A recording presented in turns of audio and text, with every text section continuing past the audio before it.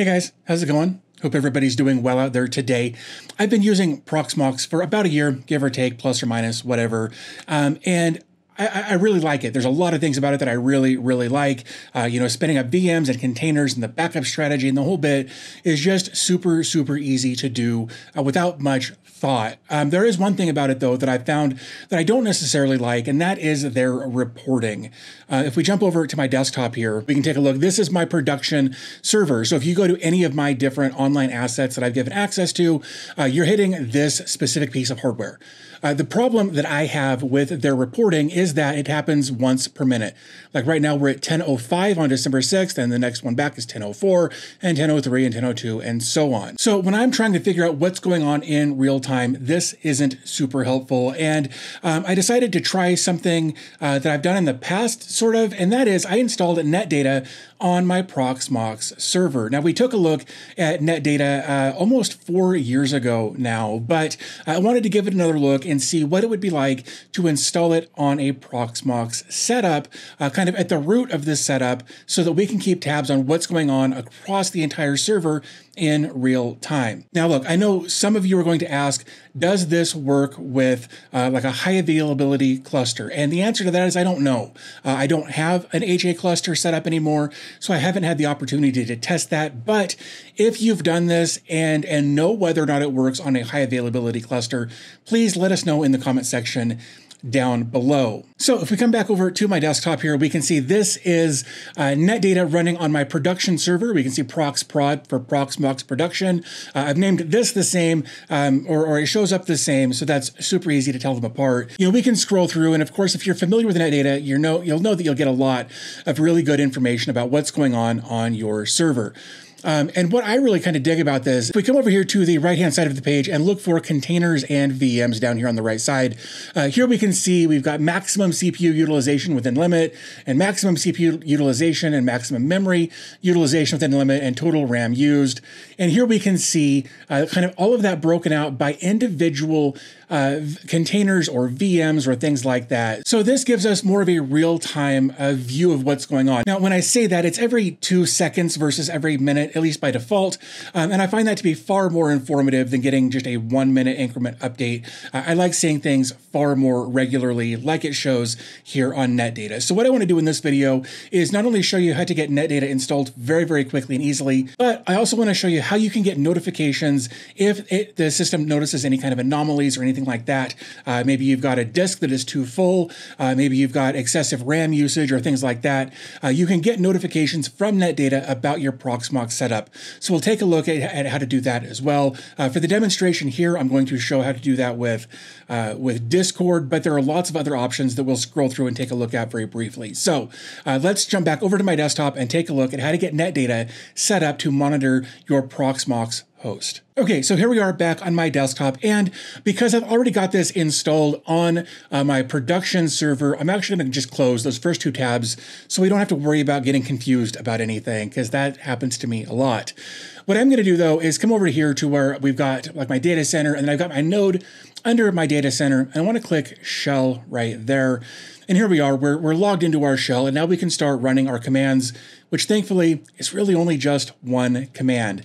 Um, and I will have links to all of this in the video description if you'd like more information. So here is our command, right? Basically, it's going to be it's going to run a bash of this of this script after it downloads it over a secure connection. It's kind of in a weird order, um, but this is a simple command. Uh, they could have done a curl and then a bash, but they just they just compacted it all into one very brief command there. Uh, so what we're going to do at this point is just hit enter.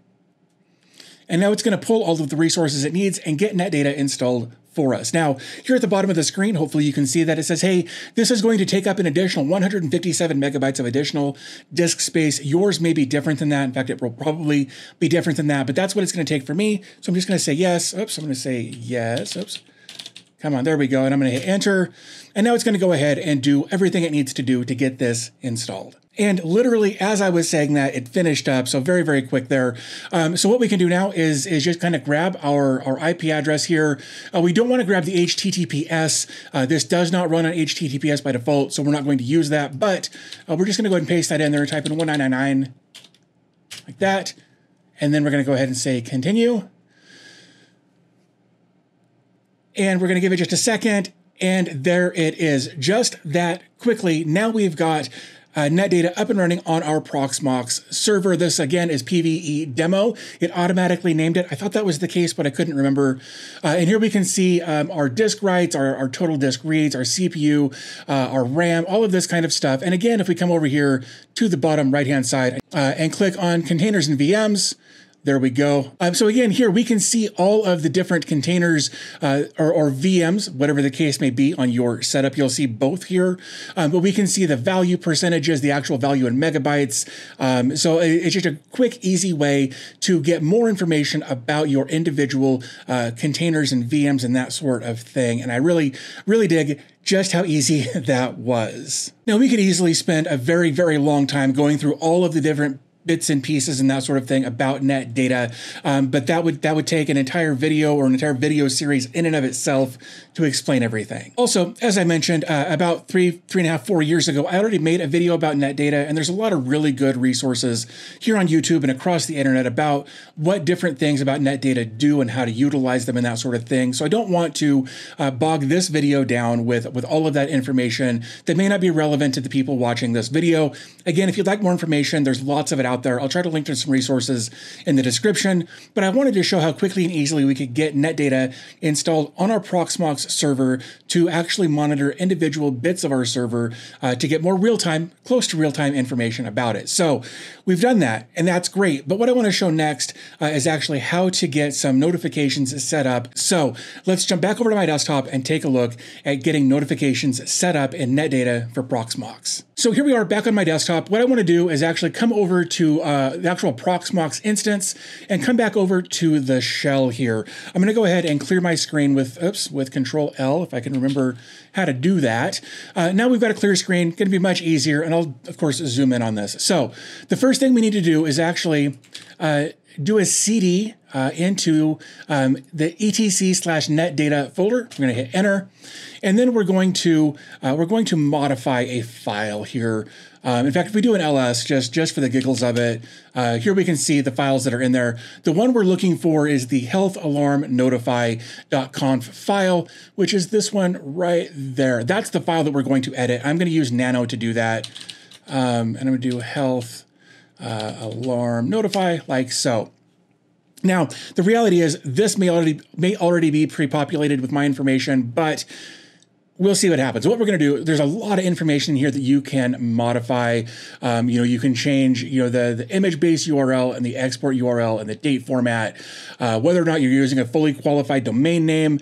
Um, you know, are you using uh, external commands like sendmail or curl or like there's just a lot to scroll through here. Now we're starting to get into notification requests though. This one is for email, global notification options. Um, and we're not going to do that. We're going to keep scrolling. Uh, here is Dynatrace settings, and then we've got. Uh, well, that's more Dynatrace. We've got uh, Gotify, or I, I, guess it would be Gotify. I've never actually thought about how that's pronounced. Um, we've got uh, OPS or Opsgenie, I guess. Uh, send uh, pushover. We've got uh, pushover options there. Pushbullet notifications, Twilio notifications, uh, MessageBird notifications, um, Kavin gear, Kavenegar. I'm not sure. I've never actually paid attention to that. Uh, we've got Telegram, we've got Slack, uh, we've got Microsoft Teams, uh, we've got Rocket Chat, we've got um, Alerta, if you use that, uh, Flock, and then here is Discord. Here we go. So what we're going to do is actually modify this file just a little bit, uh, just add or modify the three lines that are there add a few more. And again, all of this will be linked in the video description uh, if you want to jump over and grab the stuff that I've already done here. Um, so you don't have to type everything out manually because that would be really, really tedious. Uh, luckily, I managed to copy and paste it from somewhere else, and I'm just going to make it available to you. So what we're going to do is we're going to come up here to where it says send Discord. And of course, we're going to change that to yes, just like so. Our next uh, option here is for Discord webhooks. So we need a Discord webhook URL in order for uh, for our net data uh, for Proxmox to communicate with Discord to send us the notifications that we want to get. So next we need to go over to Discord to grab that URL. Okay, so this is my Discord server, and I've got a testing war room where I do all of my bot testing and things like that. And this is where I'm going to put it. Of course, you'll want to put it wherever uh, you have the authority to build in webhooks and that sort of thing. But what I'm going to do is I'm going to right click my testing war zone, and I'm going to click edit. Then in here, I'm going to go to integrations, and then I've got webhooks right here, and I'm going to click there, and then I'm going to say new webhook. Uh, and I'm gonna, I'm gonna. This is December sixth. That, that looks, that looks right. So what I'm gonna do is I'm gonna call this um, net data tut, and it's gonna be in the testing war zone. I'm gonna copy the webhook URL and click save. So now I can come back over here and uh, just paste that in, making sure that the webhook URL lands between those two sets of quotations. Next, here, this I believe was already filled in uh, earlier, like by default, but what I need to do is actually change this to the name of the Discord channel. And I wanna make sure I get this right. Uh, I'm going to come back. It's going to be testing Warzone is going to be the name of that. Uh, and it's going to be all lowercase with a dash in between. So I'm going to do this just like so. And at this point, I can save uh, with Control O and Enter just to make sure if anything goes wrong, I don't lose my settings. Now, there are some additional things that we need to do, that we need to add to this as far as the role recipients to make sure that we get all of the different notifications that we want to get. Uh, so basically, what I'm going to do is I'm just going to drop down to a new line and I'm going to paste all of this in. And this is role recipients, sysadmin, uh, domain admin, DBA, webmaster, proxy admin, and sites manager. And here are all of the different notifications that they would get. So basically, anytime one of the notifications for one of those things pops up, uh, we should get a notification for that in in our Discord server. So again, what I want to do is do a, a control O and an, and an, enter, and then a control X to save and exit. That's all we did there. Control O and enter and control X to save and exit. Simple enough. The next thing we want to do is actually make sure that we're going to get our notifications. So what I'm going to do is I'm actually going to do these side by side uh, here for just a moment. And I've got a command. Again, everything will be linked in the video description. So what I'm going to do is run this command uh, right here, which is going to be user uh, libexec netdata plugins.d alarm notify sh test. And uh, I'm going to hit enter. And there we go. There are the notifications that it, that it said that it sent. And right over here are the notifications that we just received at 1106 a.m. So when I first set this up uh, yesterday or the day before, or whenever it was, I, I honestly I thought, well, yeah, the test works, but um, do the actual notifications work? Are we going to get notifications for these kinds of things when when something actually happens? And it turns out that I did actually get some notifications about uh, an issue that I was having when I was trying to deploy a container. Okay, so here we are. We're back on my desktop taking a look at my, my testing Warzone area.